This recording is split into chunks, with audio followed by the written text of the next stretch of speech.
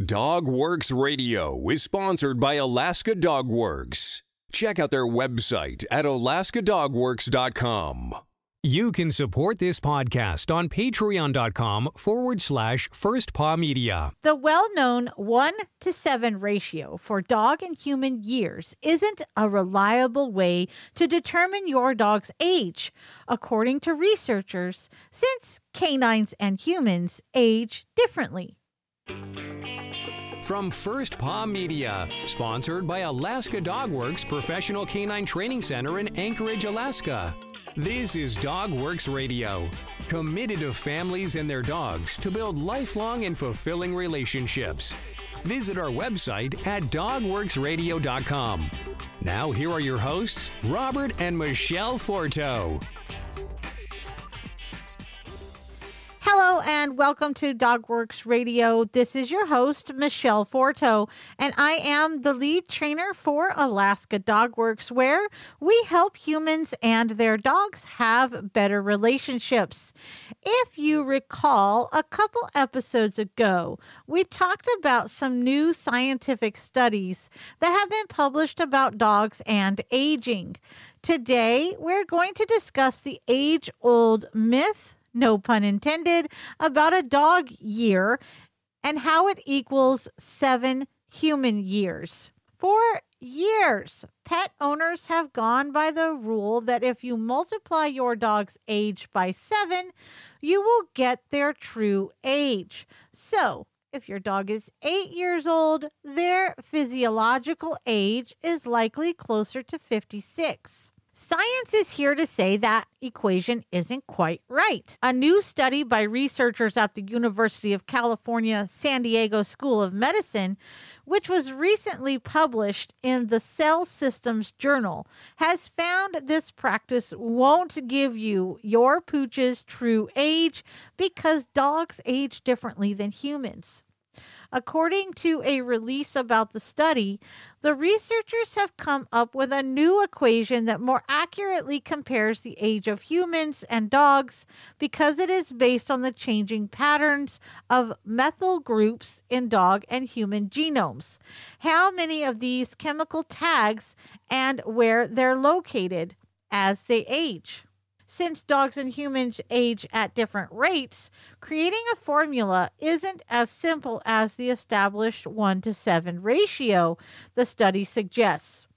The new methylation based formula the study's researchers have created is the first that is transferable across species and may provide a useful tool for veterinarians and for evaluating anti aging interventions. There are a lot of anti aging products out there these days with wildly varying degrees of scientific support, said senior author Trey Ideker, PhD professor at UC San Diego School of Medicine and Moores Cancer Center. But how do you know if a product will truly extend your life without waiting 40 years or so? What if you could instead measure your age associated methylation patterns before, during, and after the intervention to see if it's doing anything? Using blood samples from 105 different Labrador retrievers of varying ages, the study's researchers mapped out how the patterns of the canine's methyl groups shifted as they aged. This new research allowed the study to create a graph that can be used to match up the age of your dog with the comparable human age, and the comparison is not 1 to 7. This research revealed that dogs, when compared to humans, age rapidly when they are young. Per the release's example, a one year old dog is similar to a 30 year old human. Whoa. A four year old dog is similar to a 52 year old human. Then, by around seven years old, dog aging slows. The graph formula created by the study reflects these differences. This makes sense when you think about it. After all, a nine month old dog can have puppies, so we already knew that the 1 to 7 ratio wasn't an accurate measure of age, Ideker said. The graph, which also serves as the visual formula for dog human age comparison, is available online, complete with Tom Hanks' flair for all dog owners to use to help determine do- their dog's physiological age. All you need to do is find your dog's age on the bottom axis and trace your finger straight up to the red line to get your pup's age in human years. The researchers know this formula isn't perfect, especially since the study only used samples from one breed of dog, but they hope that this new formula is the first step to a more accurate understanding of dog aging and what kind of care and treatment dogs of different age groups need. If you liked this story, please stick around after the break, and we have another one that I'm sure you will love. We're living in uncertain times.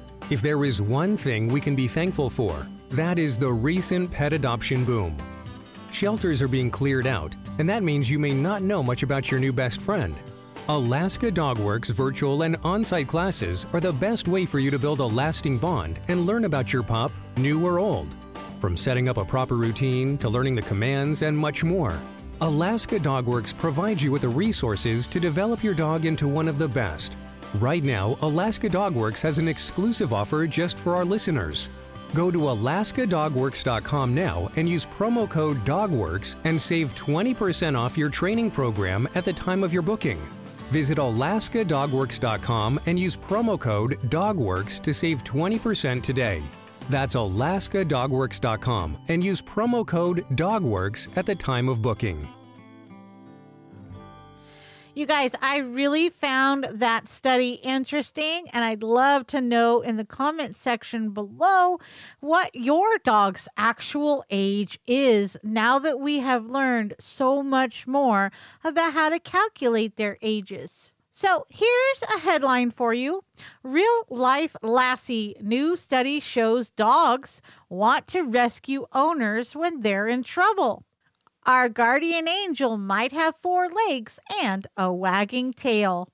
A new study published in the Journal of PLOS 1 from two researchers at Arizona State University found, like the hero dogs of film and TV, your real life canine likely wants to rescue you when you're in trouble.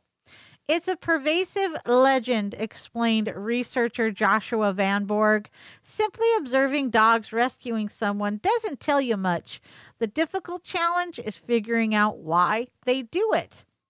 To test if and why dogs want to save their humans, Van Bourg and his co researcher Clive Wynne took 60 dogs and their owners and set up faux rescue scenarios. For the study, the owner was put in a large box that had a lightweight door that the owner's dog could move to one side to save them. Once in the box, the human would pretend to be in distress, calling out for help without using their dog's name, which might have caused the dogs to react out of obedience.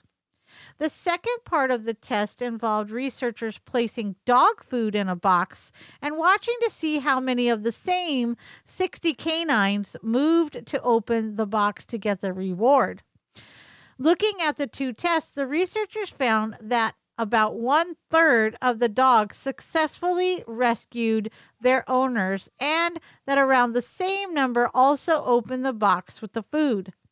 The study suggests that these responses could signal that dogs find rescuing their loved ones to be a rewarding task, much like sniffing out and finding food. According to Van Bourg, a dog's natural heroism becomes even more impressive when you take a closer look at the study's results. The key here is that without controlling for each dog's understanding of how to open the box, the proportion of dogs who rescued their owners greatly underestimates the proportion of dogs who wanted to rescue their owners, Van Bourg said. The fact that two thirds of the dogs didn't even open the box for food is a pretty strong indication that rescuing requires more than just motivation. There's something else involved, and that's the ability component. The researcher added, If you look at only those 19 dogs that showed us they were able to open the door in the food test, 84% of them rescued their owners. So most dogs want to rescue you, but they need to know how. So, what do you guys think? Did the science get it right?